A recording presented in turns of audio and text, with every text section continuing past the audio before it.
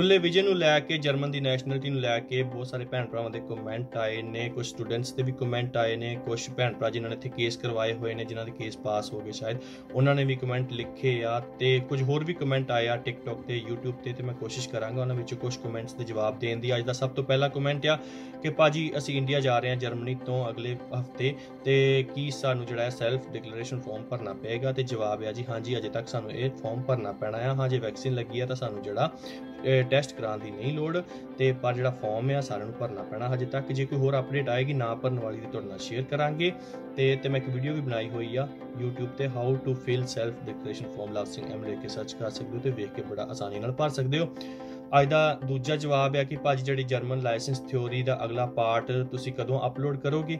ਤੇ ਲਓ ਜੀ, ਤੁਹਾਡਾ ਕਿਆ ਸਿਰ ਮੱਥੇ? ਮੈਂ ਅਗਲਾ ਪਾਰਟ ਜਿਹੜਾ ਆ, German licence theory in Punjabi part number 7 ਲਿਖ ਕੇ ਤੁਸੀਂ YouTube ਤੇ ਸਰਚ ਕਰ ਸਕਦੇ ਹੋ ਤੇ ਮੈਂ ਅਪਲੋਡ ਕਰਤਾ ਆ ਤੇ ਤੁਸੀਂ ਵੇਖ ਸਕਦੇ ਹੋ ਤੇ ਸਿੱਖ ਸਕਦੇ ਹੋ।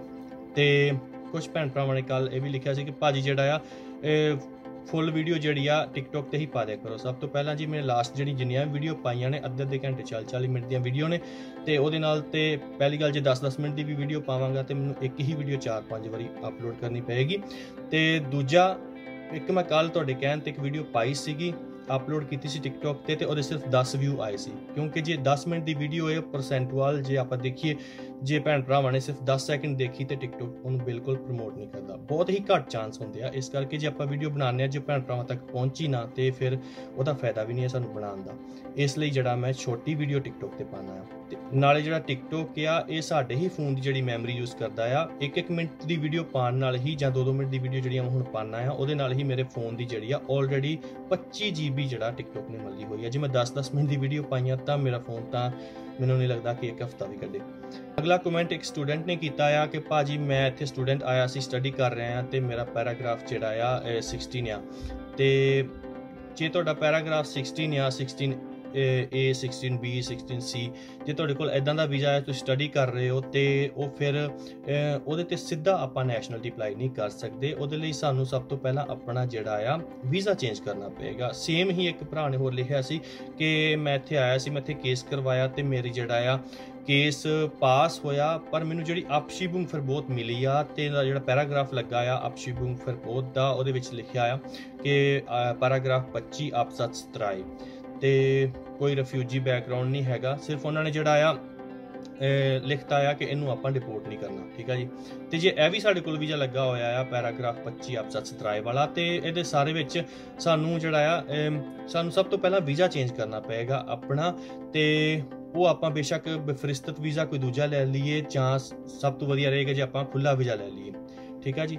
ਤੇ ਇਹਨਾਂ ਸਾਰਿਆਂ ਦੀ ਡਿਟੇਲ ਦਿੱਤੀ ਹੋਈ ਆ ਗਜ਼ਟਸ ਬੁੱਕ ਜਿਹੜੀ ਆ, ਉਹਦੇ ਵਿੱਚ ਪੈਰਾਗ੍ਰਾਫ 10 ਆਪਸਤਸ 1 ਨੂਮਰ 2 ਐਸਟੀਆ ਉਹਦੇ ਵਿੱਚ ਸਾਰਾ ਕੁਝ ਲਿਖਿਆ ਹੋਇਆ ਆ ਕਿਹੜੇ ਕਿਹੜੇ ਵੀਜ਼ਿਆਂ ਦੇ ਨਾਲ ਆਪਾਂ ਜਿਹੜਾ ਨੈਸ਼ਨਲਟੀ ਅਪਲਾਈ ਨਹੀਂ ਕਰ ਸਕਦੇ। ਤੇ ਇਹ ਨਹੀਂ ਕਿ ਨਹੀਂ ਕਰ ਸਕਦੇ, ਆਪਾਂ ਕਰ ਸਕਦੇ ਆ, ਪਰ ਉਸ ਤੋਂ ਪਹਿਲਾਂ ਸਾਨੂੰ ਆਪਣਾ ਵੀਜ਼ਾ ਜਿਹੜਾ ਆ, ਉਹਨੂੰ ਚੇਂਜ ਕਰਨਾ ਪਏਗਾ। ਤੇ ਇੱਕ ਭਰਾ ਨੇ ਲਿਖਿਆ ਸੀ ਕਿ ਆਪਾਂ ਖੁੱਲਾ ਵੀਜ਼ਾ ਅਪਲਾਈ ਕਰ ਲੱਗੇ ਆ, ਕਿ ਸਾਨੂੰ ਜਿਹੜਾ ਆ 60 ਮਹੀਨੇ ਲਗਾਤਾਰ ਕੰਮ ਕੀਤਾ ਹੀ ਹੋਣਾ ਚਾਹੀਦਾ। ਇਹ ਇਦਾਂ ਨਹੀਂ ਹੁੰਦਾ ਕਿ 60 ਮਹੀਨੇ ਲਗਾਤਾਰ ਬਹੁਤ ਸਾਰੀਆਂ ਪ੍ਰੋਬਲਮ ਆ ਜਾਂਦੀਆਂ, ਕਈ ਵਾਰੀ ਕੰਮ ਛੱਡੀ ਜਾਂਦਾ ਬੰਦੇ ਦਾ, ਬੰਦਾ ਆ ਬਾਈ ਸਲੋਸ ਲੈਣ ਲੱਗ ਪੈਂਦਾ ਆ, ਕੋਈ 6 ਮਹੀਨੇ ਸਾਲ, ਉਸ ਤੋਂ ਬਾਅਦ ਫਿਰ ਨਵਾਂ ਕੰਮ ਲੈ ਲਿਆ, ਹਨਾ? ਜਾਂ ਵਿੱਚ 2 ਮਹੀਨੇ ਕਿਸੇ ਨੇ ਸੋਸ਼ਲ ਵੀ ਲੈ ਲਈ, ਤੇ ਬਹੁਤ ਸਾਰੇ ਜ਼ਿੰਦਗੀ 'ਚ ਉਤਾਰ ਚੜਾ ਆਉਂਦੇ ਆ। ਮੇਨ ਗੱਲ ਮੁੱਕਦੀ ਆ ਕਿ 60 ਮਹੀਨੇ ਜਿਹੜਾ ਆ, ਤੁਹਾਡਾ ਰੈਂਟ ਨਿਕਾਸੇ ਦੇ ਵਿੱਚ ਤੁਹਾਡਾ ਜਿਹੜਾ ਆ, ਬੇਸ਼ੱਕ ਮਹੀਨੇ ਦੇ 20 ਸੈਂਟੀ ਗਏ ਹੁਣ, ਬੇਸ਼ੱਕ 50 ਸੈਂਟੀ ਗਏ ਹੁਣ। ਤੇ ਜੇ ਆਪਾਂ ਸੋਸ਼ਲ ਵੀ ਲੈਣੇ ਆ ਨਾ, ਜਰਮਨ ਦੇ ਵਿੱਚ ਕੋਈ ਭੈਣ ਭਰਾ ਲੈਂਦਾ, ਉਹ ਸਾਰੇ ਬਾਈ ਦੇ ਜਿਹੜਾ ਹੈ ਸੋਸ਼ਲ ਵੀ ਤਾਰਦੀ ਆ। ਤੇ ਜਿਹਦੇ ਵਿੱਚ ਡਾਕਟਰੀ ਕਾਰਡ ਵੀ ਆ, ਸਾਰਾ ਕੁਝ ਆ, ਹਨਾ? ਡਾਕਟਰੀ ਕਾਰਡ ਜਿਹੜਾ ਜਰਮਨੀ ਦਾ ਤੁਹਾਨੂੰ ਪਤਾ ਹੈ ਕਿ ਉਹੀ ਸਾਰੀ ਦੇਖ ਰੇਖ ਕਰਦੇ ਆ ਅੱਗੇ। ਤੇ ਜ਼ਰੂਰੀ ਨਹੀਂ ਆ, ਜੇ ਆਪਾਂ ਆਰ ਸਲੋਸ ਗੈਲਟ ਵੀ ਲਏ ਆ 1 ਸਾਲ ਆਰ ਸਲੋਸ ਰਹੇ ਆ, ਤੇ ਜਾਂ 6 ਮਹੀਨੇ ਰਹੇ ਆ 3 ਮਹੀਨੇ ਰਹੇ ਆ, ਤੇ ਉਹ ਵੀ ਸਾਡੀ ਜਿਹੜੀ ਇੰਸ਼ੋਰੈਂਸ ਤਾਰਦੀ ਆ ਸਾਡਾ ਰੈਂਟ ਕਾਸਾ ਤੇ ਇਹ ਨਹੀਂ ਹੁੰਦਾ ਜੇ ਜਰਮਨ ਚ ਰਹਿ ਰਹੇ ਆ ਤੇ ਵਿੱਚ ਜੇ ਆਪਾਂ 3-4 ਮਹੀਨੇ ਕੰਮ ਨਹੀਂ ਕੀਤਾ 6 ਮਹੀਨੇ ਨਹੀਂ ਕੰਮ ਕੀਤਾ, ਜੇ ਆਪਾਂ ਆਬਾਈਸਲੋਸਨ ਗੈਲਟ ਲੈ ਲਿਆ ਤੇ ਜੇ ਉਹਦੇ ਨਾਲ ਵੀ ਗੁਜ਼ਾਰਾ ਨਹੀਂ ਹੋਇਆ, ਵਿੱਚ ਆਪਾਂ ਕੋਈ 2 ਮਹੀਨੇ ਸੋਸ਼ਲ ਵੀ ਲਈ ਆ, ਤੇ ਤਾਂ ਵੀ ਜਿਹੜਾ ਉਹਨਾਂ ਨੇ ਜਿਹੜਾ ਰੈਂਟ ਨਿਕਾਸਾ ਆ, ਜਿਹੜਾ ਮਿਨੀਮਮ ਆ ਘੱਟ ਘੱਟ ਤੋਂ ਘੱਟ ਜਿਹੜਾ ਉਹਨਾਂ ਨੇ ਕੁਛ ਨਾ ਕੁਛ ਤਾਰਿਆ ਹੋਏਗਾ ਸਾਡਾ, ਠੀਕ ਆ ਜੀ?